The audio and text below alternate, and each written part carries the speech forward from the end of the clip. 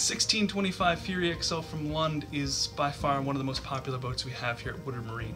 With a 60 horsepower Mercury uh, EFI four stroke that's on here, uh, it pushes the boat well into the 30 mile an hour range.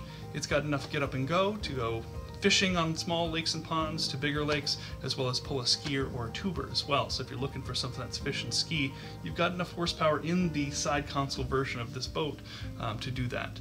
This boat does come with a 55 pound thrust trolling motor, a Piranha Max 4 Humminbird fish finder, full vinyl floor, and one of my favorite features, which is the back casting platform and flip up seats.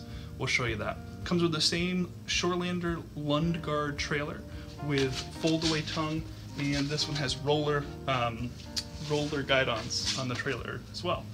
Let's take a deeper look into the interior as well as the exterior of the boat.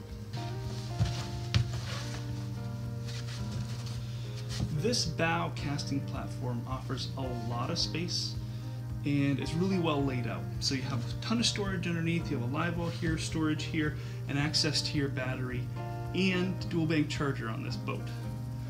In the front, we do have a foot controller for the power drive um, Minn Kota 55 pound thrust trolling motor.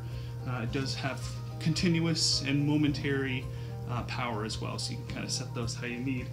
It does have a quick connect on the electronics as well as the front bracket on there. So if, again, you're going to be going skiing one day maybe, or just taking the family out fishing, um, you know, on Saturday and on Sunday just going out for a cruise, you can easily take the trolling motor off, leave it at the dock, put it in the back of your truck, or just leave it at home for the day as well. So you kind of dual fold. Underneath here, like I said, we do have the trolling motor um, uh, access up here as well as the live well. So this is a nice size live well that's on here, and you do have the ability to control the pump from the helm. Plenty of storage up front. Um, this does come with a full travel cover, which can fit in just one compartment on the side on here. Nice thing too is that you see that the um, these aluminum uh, and vinyl wrapped compartments are just they're engineered to, to give you just a little bit of room, but everything is really engineered well here in a Lund, um, so you don't have to move anything to, to lift up and use the storage. Um, I can be here in the bow casting platform and someone can say, hey, can you hand me something at the front? Flip that down, flip up this side, grab whatever it is, pass it to the back, and I'm back to fishing.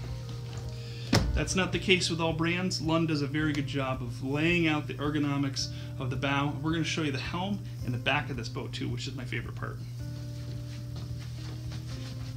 Let's look a little closer at the helm. First thing we're going to notice is the Piranha Max 4 fish finder. It's a color fish finder with uh, bottom topography as well as water temperature and, uh, and depth. Uh, great little fish finder that's on there, doesn't take up a lot of space, you still have uh, room to see around if you wanted a larger fish finder. We do have them in stock. On the side panel here, we do see interior light accessory switch bilge. It is an auto bilge as well. Aerator, which is the live well. Navigation lights and anchor lights, and a master power switch. Horn as well. The uh, bus fuse is underneath. Place to put your cell phone. 12 volt power uh, plug-in. And, as always, tilt steering. Mercury analog gauges for speedometer and tachometer. And it has a full windshield on it as well for the side console, so you do have some nice wind resistance um, here. Okay, I said it. I said it many times. The back is my favorite. The reason why is because we have these great aft flip-up seats with cup holders, which, if you know me, you know that I love a good cup holder. Uh, the greatest part about this is that it offers underneath storage here for the battery and tank, and then these latches come out, and this whole piece flips up. But the other piece of it is we're actually going to flip these seats down right here and fold this down. You'll see what the platform looks like.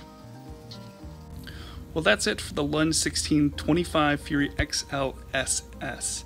Be sure to also compare this boat to the Adventure 1650, which we did a previous video on as well. Both great values, a little bit different setup on each of them. They can be customized. If you have questions, please give us a call, or you can uh, connect with us through our website, woodardmarine.com, sales at woodardmarine.com for email, and of course 802-265-3690.